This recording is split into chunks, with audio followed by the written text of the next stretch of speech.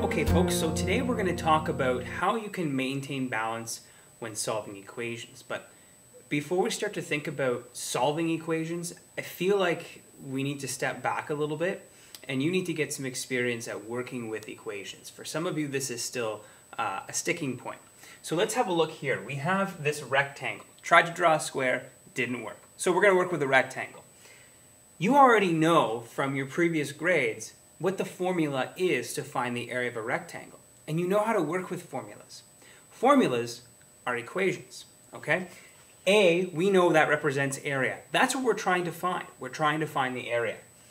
You know that L stands for length, and you know that W stands for width. So this general formula, this generic system that you use to find the area of this rectangle is something that you're quite experienced with substituting numbers in for those unknown letters, those unknown variables.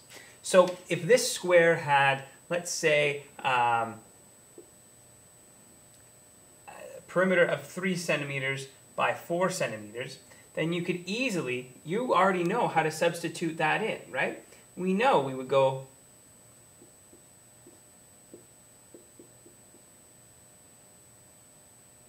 and then there you go. So that's, you have experience doing that of taking these letters, substituting the actual variables once we know what they are, and then working within the context of the formula to find out what that area is, the variable we actually want to find out what we're looking for.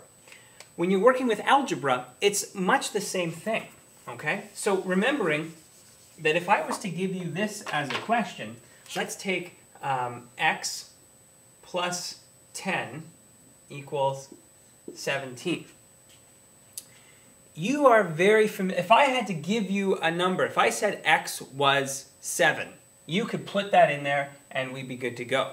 But what if I said to you, solve for x? What if I said to you, I want you to tell me what x is?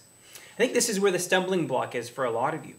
A lot of you are used to algebraic expressions where you work to finding an answer that this sign right here, this equals sign, means find me the answer.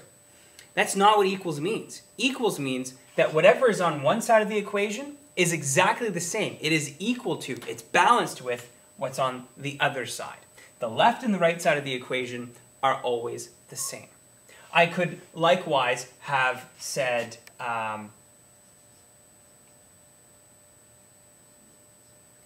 uh, that would also would work, right? because both sides still equal 17.